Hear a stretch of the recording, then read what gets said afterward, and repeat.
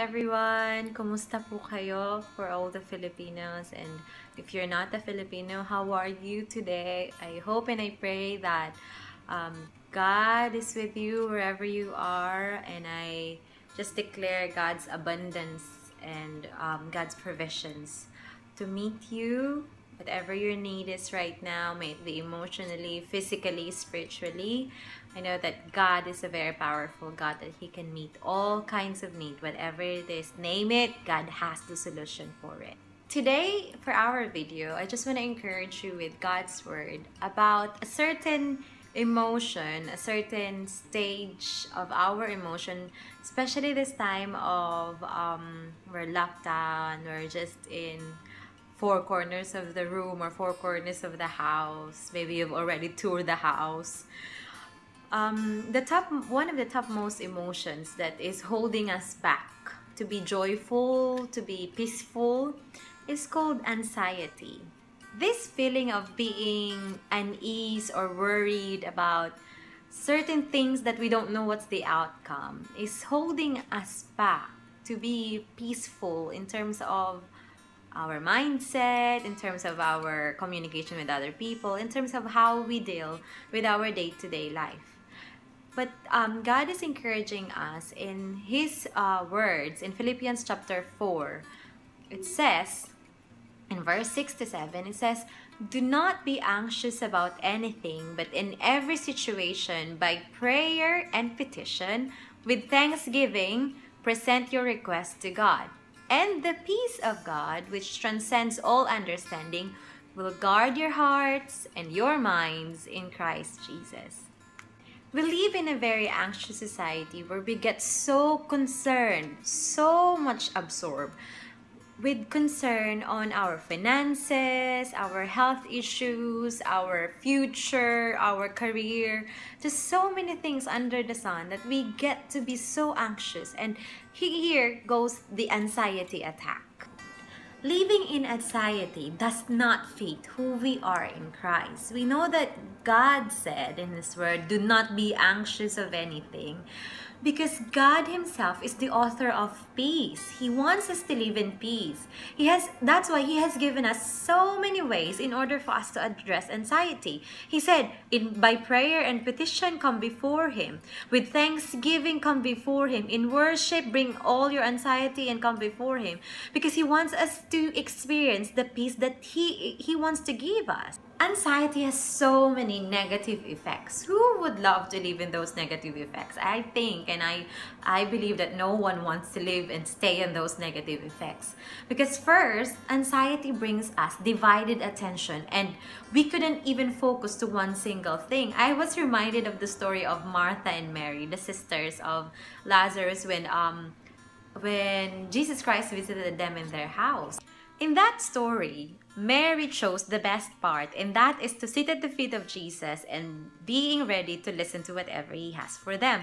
But Martha, on the other hand, was very bothered and very anxious on how to, to feed the many visitors. So G the Lord Jesus Christ, with so much love, rebuked Martha by saying, Martha, Martha, do not be anxious and do not be bothered by so many things.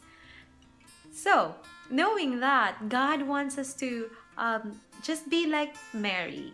Be like Mary that whenever we have this anxiety, we, whenever we have these anxious thoughts, we just have to just stay at the feet of Jesus, cast it all unto Him because He has every solution to everything, any concerns that we have. He has everything all at the center of His plans for us. Anxiety also slows down our productivity, meaning we can do so much, but because of anxiety that is holding us back, we can we only do so little out of the many capacity that we have and it's not really good. Another thing with anxiety, it affects our relationship with other people. Now, if we are anxious inside, people around us can at least feel it on how based on how you interact with them. Are you be are you not being the light that God has told you to be or told us to be? Are we being a baggage full of anxiousness that we became someone who is heavy to carry for other people around us and hopefully um, the people around you, you'll be able to tell them how to deal with that because you don't want to be unloaded with so much baggages as well.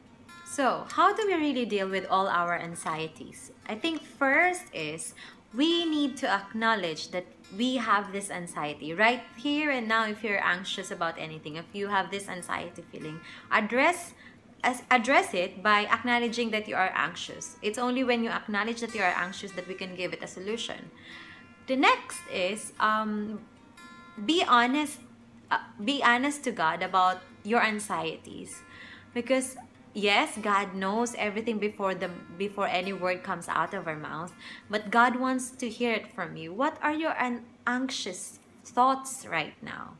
And third is leave it all to god give it to him because he wants to to for us to cast all our anxieties, cast all our burdens to Him. Because He wants to replace it with the rest that He wants to give us. He wants to replace it with the peace that passes all understanding. I believe that anxiety is a faith battle, meaning whether you believe or whether you will acknowledge that God can handle it or not, it's all up to you really. It's a battle in the mind because you decide, we decide whether we'll leave it to God because we know He's all powerful that He can handle it or to be just so succumb in that feeling of you are very anxious of so many things. It's a choice, my friend. God's love is just so enough for us to have a very, very peaceful life out of the bondages of anxiety, of, of anxious thoughts. If we completely surrender, if we decide in our hearts, God, I'm giving it all to you. I'm leaving it all in the at the feet of Jesus. I don't want to live in that anxiety anymore or any longer.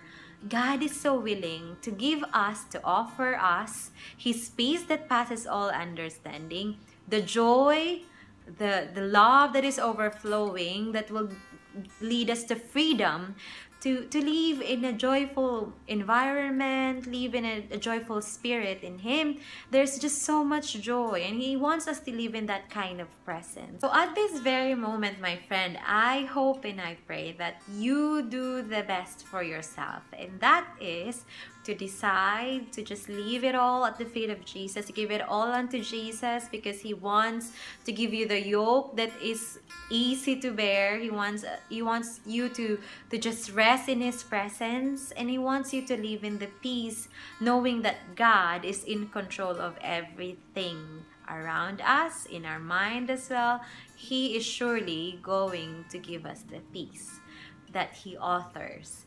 So um I hope that you are encouraged today and may we always, hopefully always, may we um, just welcome each and every day with so much peace, knowing that God loves us so much and He doesn't want us to live in a heavy yoke or bearing that heavy yoke or bearing that heavy feeling in our heart. So, um, have a peaceful, peaceful rest of the day. And um, I'll see you again in the next video.